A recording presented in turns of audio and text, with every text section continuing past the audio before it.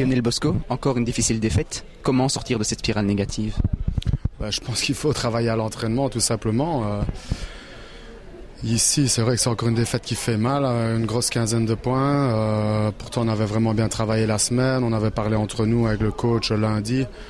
Et voilà, on était, on prêt à réagir. On a malheureusement bah, encore une fois mal commencé en défense. On a encaissé 55 points en une mi-temps, dont plus de 30 dans, dans le deuxième quart-temps, je pense. Donc comme ça, bah, c'est impossible de gagner un match. Quelle est la différence entre le Liège de début de saison et le Liège maintenant? Bah, La défense, je pense qu'au début de saison, on était une des meilleures défenses. Euh, au niveau statistique, c'était comme ça. Et maintenant, euh, c'est chaque fois minimum 80-85 points qu'on encaisse. Il euh, n'y a pas de secret. si on joue bien en défense, on a quelques interceptions, on a des paniers faciles de l'autre côté, ça met en confiance des joueurs. et voilà, et pour le moment, on n'a plus ça. Début de match, ça a été plus ou moins. On a vu quand même qu'il y avait l'envie et tout ça. Mais voilà, il y a eu des erreurs encore individuelles où, où il faut corriger, il faut corriger. je veux dire, il n'y a pas le choix, il faut, il faut travailler. Et comme je dis toujours, la défense, c'est pas, c'est pas des tactiques, euh, c'est pas euh, le coach qui décide. Non, c'est, ce qu'on a dans le cœur, c'est ce qu'on a dans le ventre. Euh, et voilà, il n'y a rien de plus. L'ambiance dans le groupe est-elle toujours bonne? L'ambiance, elle est parfaite. Elle est parfaite, l'ambiance.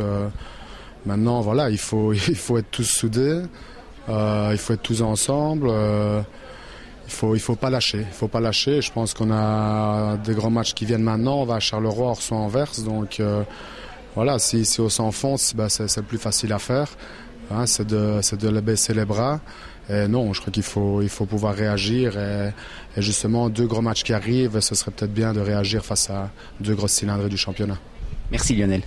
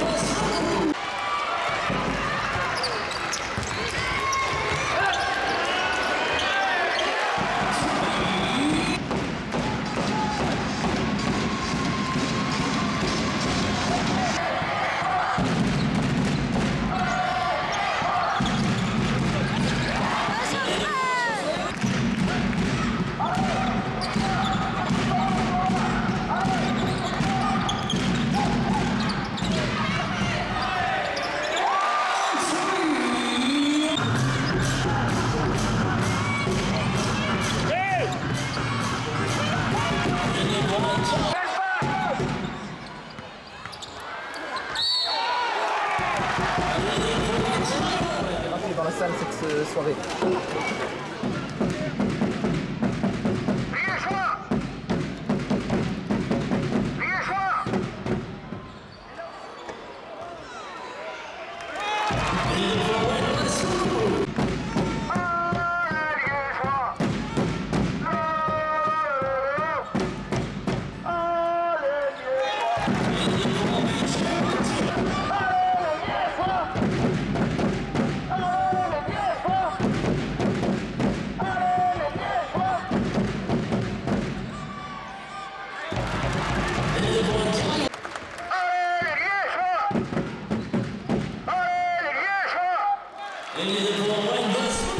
Raphaël Allemand, quelques minutes de temps de jeu pour toi ce soir. Félicitations.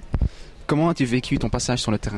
Ah, ben, Très bien, j'ai fait ce que j'ai pu dans un premier temps, mais bon, le coach m'avait prévenu au début de match que je devais être prêt. Donc euh, ben voilà, et je savais pas quand il allait me faire rentrer, mais bon, quand il m'a fait rentrer, ben, j'ai pris mon pied. quoi. Je fais ce que, ce que j'ai pu pour l'équipe, et voilà. C'est bien, bien évidemment un niveau différent de la D-League. Peux-tu nous résumer la saison de cette équipe en quelques mots? Ben, il faut dire qu'on euh, a quand même un 5 de base, je pense qu'il vaut euh, le niveau de la D2. Donc euh, ça joue quand même pas mal. Et puis les autres équipes, c'est fort fort jeune. Donc on joue beaucoup sur notre expérience. Et puis on s'entraîne quand même avec une équipe de professionnels toute la semaine. Donc c'est ça, je crois, qui paye et qui fait qu'on est à 20 sur 20 maintenant. Maintenant, il faut prendre chaque match match par match parce que voilà, on ne peut jamais être à l'abri d'une surprise. Donc on est toujours à fond. quoi. Votre objectif, c'est bien sûr le Final Four qui aura, lieu à Andenne les 8 et 9 mai. Oui, oui, c'est l'objectif et on va surtout rester invaincu. Je crois que ce serait quelque chose de. Je crois la première fois que ça arriverait d'être faire 36 matchs et d'être euh, à 36 sur 36. Quoi. Donc, euh, je crois que c'est vraiment ça nos deux objectifs de la saison en délit. Rester invaincu et gagner le Final Four, bien sûr. Merci Raphaël.